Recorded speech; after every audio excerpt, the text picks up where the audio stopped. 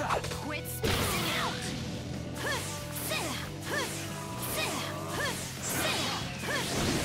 Here I come! Quit spacing March! I'll settle it with this! There you are!